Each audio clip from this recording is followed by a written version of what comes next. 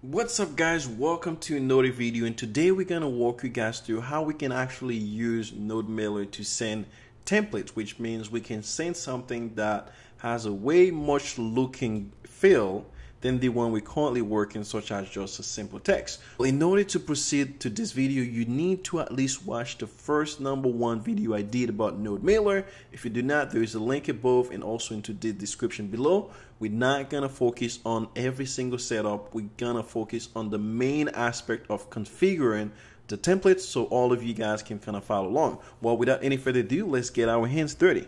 Alright, from the last video, we were successfully able to bring Node NodeMailer in our step number one, configure our transporter, and step number two, configure our mail option, and step number three, we were successfully able to configure our transporter. Well, in order to configure any template, first we need to have a template. In this one, I'm going to go ahead and add all my template inside a folder called view and inside my view template I'm gonna create my template here. Now in this particular case I'm gonna use handlebar to configure my template. If you guys don't know how to work with handlebar it is technically HTML feel free to code just HTML inside of it but it is way more powerful than just typical HTML but we're not gonna go into express handlebar. In this scenario um, I'm gonna just use the HTML straight inside handlebar. Just in case you guys are curious I do have a video about express handlebar here on the top right corner definitely check it out. But again we're not going to use express handlebar to its full capacity. We're just going to go with all html just for you guys to follow along. And inside this template i'm only going to add the word hello world and we should be ready at least to have our template here defined as this all right, so once again, guys, we create a folder called view and we create a file called index.handlebar. Once we have that out of the way, the only thing we need to do is go back over server.js. And once you go back here, we're going to need to install a package called NodeMailer Express.handlebars. And we're going to save this one as a dependency. Once again, we need this package in order to configure our template with NodeMailer. Once you have this package installed, I'm going to go here and bring that package here and store it into a variable called HBS. And once I have that, I'm going to go here and now eh, bring that package here, which is Node Express Handlebar. And once I have this package, now be really mindful, this package needs to be configured with the transporter okay? This is very very important. So here's our transporter. We're going to use transporter and we're going to do transporter.use to configure that package. And here we're going to do pass it to parameter the first parameter here we need to pass is something called compiler. This is not something that I come up with. This is actually what the transporter is actually expecting you to pass in order to compile this for you. Once you give it this thing called compile the next thing we need to give it is actually call this function here from handlebar we're going to call it as a function here. And there we go we call it here. And now there's one last thing we need to do after we invoke our function is to pass it an object.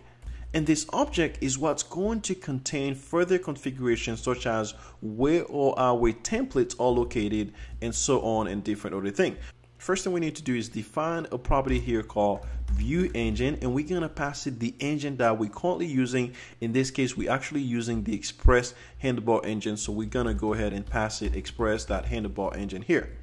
Second thing we need to pass is the view path. And this one is technically going to be saying, all right, where are all your templates all located? In my case, all my template are located inside a folder called view. So this is technically my path. To give it, I just do that slash in the name of the folder where all my template are located. Once you have that out of the way, the configuration to configure Express handlebar with your transporter is now complete in order to use a template now, we need to go over wherever we have step number two. In step number two, we're going to actually add an extra key called template. In this one, it is a way to specify which template that you guys would like to to use. In our particular case, maybe we had a hundred templates here and we can particularly select one of them. Let's say we wanted to use the index one. All we need to do in this case is just tap the name of the template without the that extension. And there you go, ladies and gentlemen, we have successfully configured our template, including the transporter that is coming in. And all we need to do now is run our application.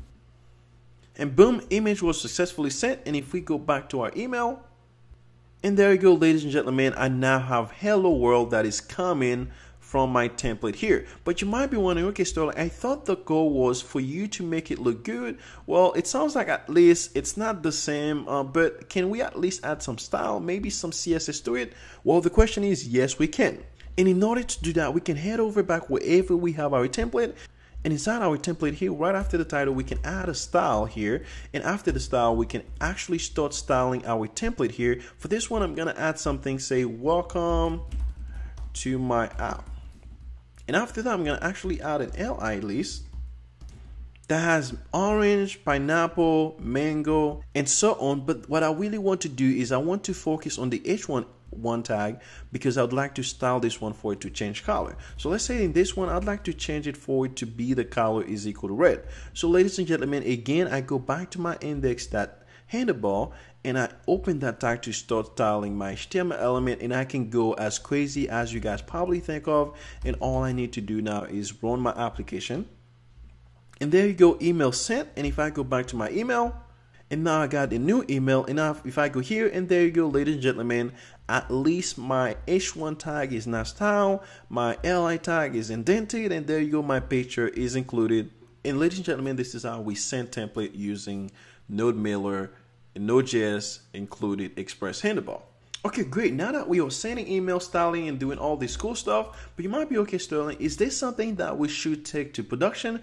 Well, the, the answer is no. You should never use Gmail as your production thing to handle all this case for you. What you really want to do is use some other services, SendGrid, or Mailgun in order for you to deploy a production application. And the cool thing about these two services for you is they're going to also monitor every single emails that was successfully able to send and every single email that we're not successfully able to send.